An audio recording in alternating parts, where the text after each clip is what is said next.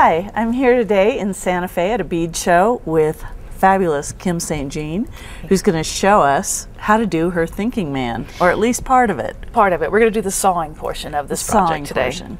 This is a pin, a very unique pin. Mm-hmm. You've been teaching this class. It involves etching.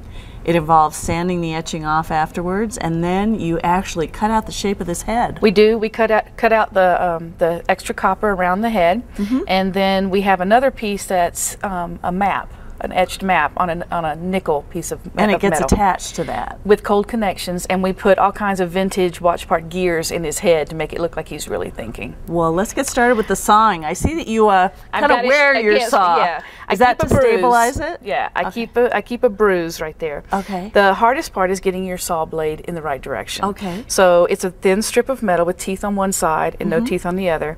And when you run your finger across the teeth, because they're so small you can't really see them. Yeah. So you run your finger away from you and you feel the teeth. Okay. If you could see them, they would look like a little Christmas tree, half a Christmas tree.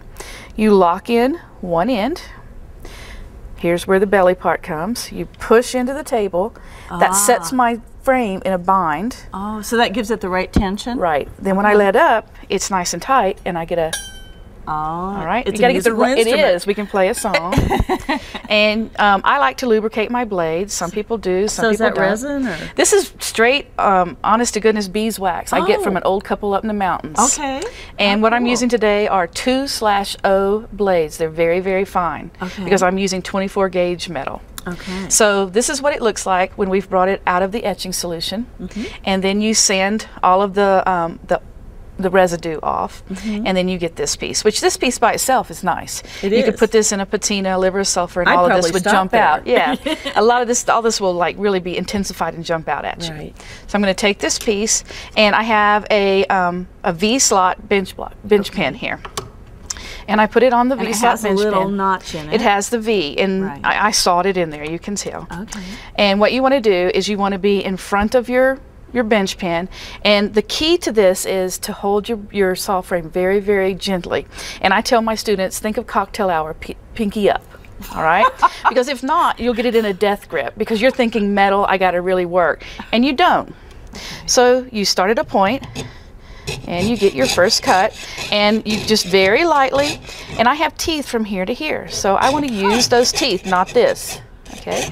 Use all of these teeth. Once I get going I put one finger behind and one finger in front. That stabilizes my metal. And off I go. And the trick is to keep my saw at a 90 degree angle whenever possible. Now see I'm coming around this curve. I kept my blade going up and down at a 90 degree angle. I did not turn the blade, I turned the metal. And that's the trick. Oh.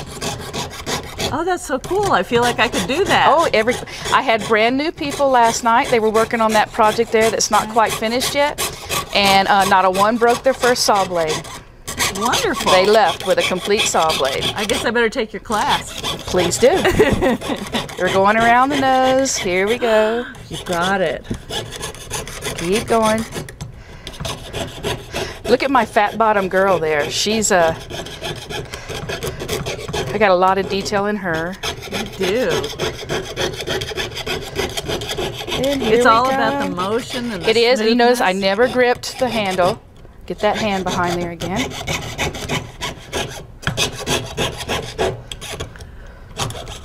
Wow. Okay. Look And if how you- cool. It's so detailed, even his lips. Yeah, and if you do it really well, like I did on this one, Uh-huh.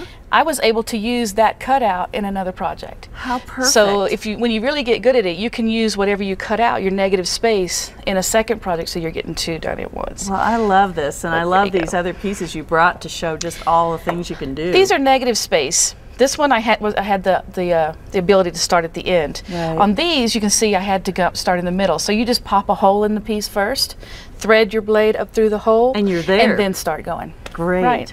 Well, thank you, Kim. Thank you. That was this great. has been a pleasure.